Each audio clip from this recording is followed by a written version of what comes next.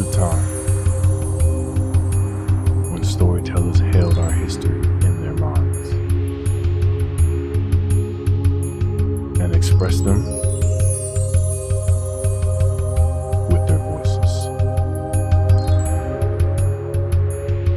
That time has come again.